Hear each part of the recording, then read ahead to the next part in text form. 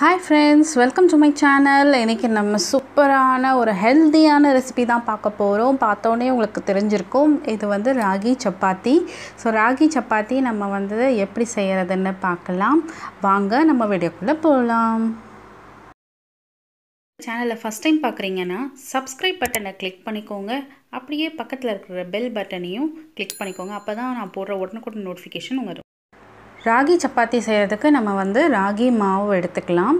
இது வந்து நான் ரெடிமேடாக வாங்கினது தான் நீங்கள் வேணும்னா நீங்கள் அரைச்ச மாவு கூட யூஸ் பண்ணிக்கலாம். ஸோ இது வந்து நான் எந்த அளவுக்கு நம்ம எடுக்கிறோமோ அதே அளவுக்கு தண்ணி வந்து யூஸ் பண்ணணும் ஸோ கரெக்டான அளவு வந்து ஒரு பாத்திரத்தில் நீங்கள் அளவு வச்சுக்கிட்டிங்கன்னா ஸோ அதே சைஸில் நீங்கள் வந்து தண்ணி வந்து எடுத்துக்கலாம். ஸோ அந் அதுக்காக தான் நான் வந்து ஒரு பவுலில் வந்து ஒரு கப் ஃபுல்லாக வந்து யூஸ் பண்ணுறேன் ஸோ ஒரு பாத்திரத்தில் இப்போ நம்ம அதே பவுல் கப்பில் நம்ம வந்து தண்ணி அளந்து ஊற்றிக்கலாம் ஸோ இந்த தண்ணி வந்துட்டு நல்லா கொதிக்க விட்டு நம்ம அதுக்கப்புறம் மாவு சேர்த்துக்கலாம். தண்ணி நல்லா கொதிச்சிருச்சு. ஸோ இந்த ஸ்டேஜில் வந்து சிம்மில் வச்சுட்டு நீங்கள் கொஞ்சம் கொஞ்சமாக வந்து மாவை வந்து சேர்த்துட்டு நல்லா கலக்கி விட்டுட்டே இருங்க. இல்லாட்டி கட்டி பிடிச்சிரும். டக்கு டக்குன்னு சேர்த்துருங்க கொஞ்சம் கொஞ்சமாக சேர்த்து நல்லா வந்து மிக்ஸ் பண்ணி விட்டுடுங்க.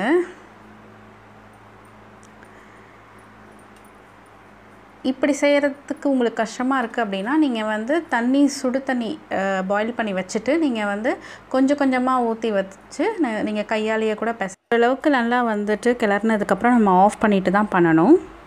பண்ணுறோம் ஸோ இதில் வந்து நான் உப்பு போடுறதுக்கு மறந்துட்டேன். ஆக்சுவலாக தண்ணி கொதிக்கும் போதே போடணும். ஸோ நான் இந்த ஸ்டேஜில் வந்து இதை போட்டுடுறேன். உப்பு சேர்த்து நம்ம நல்லா வந்து கலந்ததுக்கப்புறமா இதை வந்து கொஞ்சம் நேரம் ஆற விட்டுடலாம். ஒரு கை பொறுக்கிற அளவுக்கு சூடு வந்ததுக்கப்புறமா தான் நம்ம வந்து அதை பிசைஞ்சு எடுத்துக்க போகிறோம் இப்போ நமக்கு சூடாறி நல்லா கை பொறுக்கிற அளவுக்கு வந்துருச்சு. ஸோ இப்போ வந்து நம்ம லைட்டாக வந்து சப்பாத்தி மாவு எப்படி பிசைவோமோ அதே மாதிரி வந்து இதை பிசைஞ்சு விட்டுக்கலாம். தண்ணி வந்து நான் சொன்ன மாதிரி அதுக்கப்புறம் நமக்கு சேர்க்கவே இல்லை. கரெக்டாக இருக்குது ஸோ உங்கள் மாவு எந்த மாதிரி பதமோ அதுக்கேற்ற மாதிரி நீங்கள் வந்து சேர்த்துக்கோங்க. சப்போஸ் தண்ணி கூடுதலாக தேவைன்னா கூட சுடு தண்ணி வந்து எடுத்து வச்சுக்கிட்டிங்கன்னா உங்களுக்கு கரெக்டாக இருக்கும். எனக்கு நான் வந்து கரெக்டாக இருந்தது ஒரு கப்புக்கு ஒரு கப் தண்ணி கரெக்டாக இருந்துச்சு. எனக்கு ஈஸியாகவும் இருந்தது. இதில் வந்துட்டு ஆஸ் யூஷுவல் நம்ம சப்பாத்திக்கு மாவு பிசைகிற மாதிரி கொஞ்சமாக வந்து எண்ணெயும் லைட்டாக தடவி முடிக்கும் போது லைட்டாக வந்து அது ஒரு வாட்டி பிசைஞ்சு விட்டுருங்க. பிசைஞ்சதுக்கப்புறம் நம்ம வந்து சப்பாத்திக்கு உருட்டுற மாதிரி குட்டி குட்டி பால்ஸ் வந்து ரெடி பண்ணிக்கலாம். சப்பாத்தி வந்து நம்ம ஹாஃப் அன் ஹவர் இல்லைனா ஃபிஃப்டீன் மினிட்ஸ் வச்சுட்டு நம்ம வந்து செய்யும்போது சாஃப்டாக இருக்கும் சொல்லுவோம் இல்லையா? இதுக்கு வந்து அந்த மாதிரி தேவையில்லை. இது நேச்சுரலாகவே ரொம்ப சாஃப்டாக இருக்கும். அதனால் நீங்கள் செஞ்ச உடனே தேய்க்க ஆரம்பிச்சிடலாம். ஸோ நான் இப்போ தேய்க்க போகிறேன் அதுக்கு வந்து ஒட்டு மாவு நான் அதே மாவு தான் எடுத்திருக்கேன். கேழ்வரகு மாவே எடுத்திருக்கேன். உங்களுக்கு அது இல்லை அப்படின்னா நீங்கள் வந்து ஆட்டா மாவு கூட எடுத்துக்கலாம்.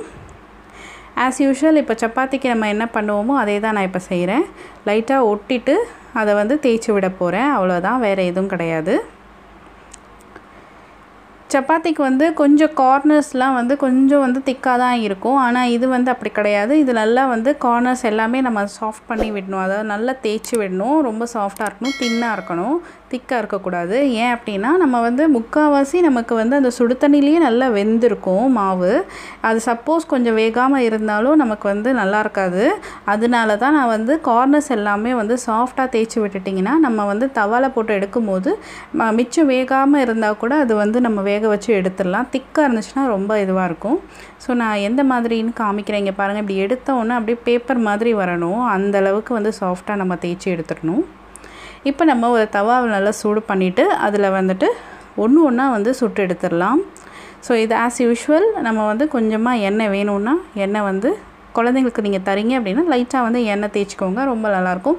எண்ணெய் தேய்க்கணும்னு அவசியமே இல்லை ஏன்னா ரொம்ப சாஃப்டாக தான் இருக்கும் நேச்சுரலாகவே உங்களுக்கு வேணும்னா நீங்கள் தேய்ச்சிக்கலாம். இது வந்து நமக்கு எப்படி எடுக்கணும் அப்படின்னா நல்லா வந்து அந்த பார்க்குறதுக்கு அந்த ஈரத்தன்மை இருக்கும். அந்த ஈரத்தன்மையே இருக்கக்கூடாது. அதை மறையிற வரைக்கும் நீங்கள் வந்து சிம்மிலேயே வச்சு வச்சு எடுக்கணும். அப்போ தான் வந்து அந்த பச்சை வாசனை இருக்கவே இருக்காது. இல்லாட்டி வந்து அந்த கேழ்வரகு வேகாமல் இருந்துச்சுன்னா தான் அந்த ஈரம் அது வந்து தெரியும். உங்களுக்கே பார்க்கும்போதே தெரியும். இதில் எனக்கு அந்தளவுக்கு கிளாரிட்டி உங்களுக்கு காமிக்க முடியல. ஸோ நீங்கள் பார்த்தீங்கன்னா உங்களுக்கு தெரியும். அங்கங்கே வந்து ப்ரெஸ் பண்ணி விடுங்க.